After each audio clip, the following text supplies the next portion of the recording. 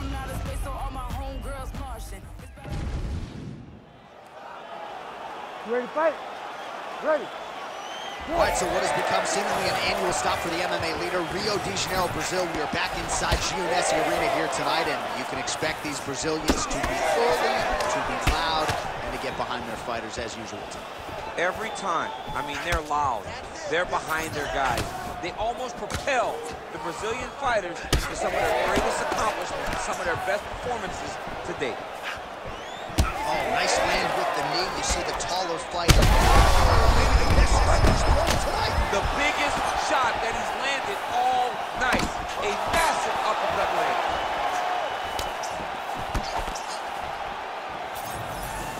All right, so he's landed a few big uppercuts already in DC. I know you're in the prediction business. You think he's going to set it up again? I am certain he's going to try and set that up again. Expect it to come off of a left hook because off the left hook, you don't anticipate the next punch coming right up the middle.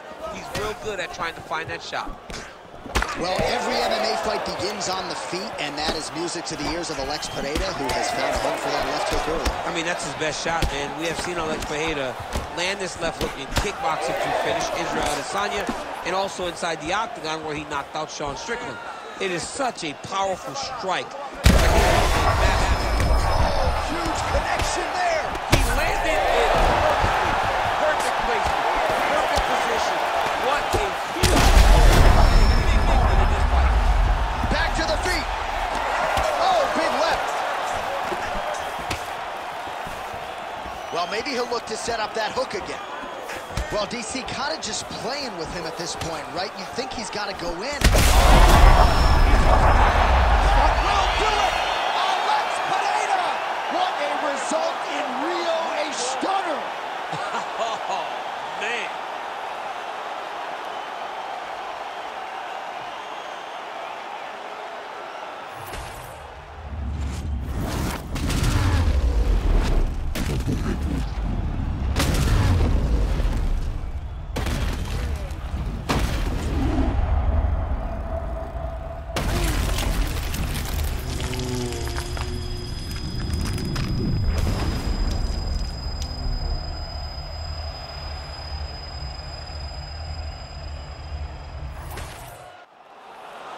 All right, we now go inside the octagon where Bruce Buffer has your official decision. Ladies and gentlemen, referee Herb Deans called a stop to this contest at 2 minutes, 53 seconds of the very first round.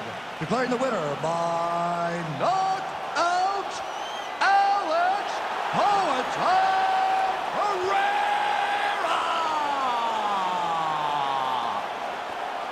Wow, what else can you say about Alex Pereira? We have called most of...